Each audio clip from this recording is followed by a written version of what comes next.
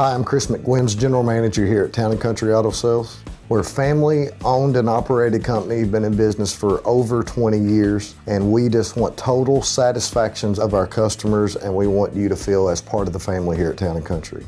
Whether you have the best credit or the worst credit, we finance everything in between. We have the lowest rates in the business, and we can help those people that are reestablishing their credit, bankruptcy, divorce. We can help anybody here at Town & Country. We are completely different than any other dealership you've ever been to. We treat people the way we want to be treated. We are a family here and we want to make you part of the family. That works from the owners all the way down to me, the general manager, down to the guy that details the car. We want everybody to be happy with their experience here at Town & Country.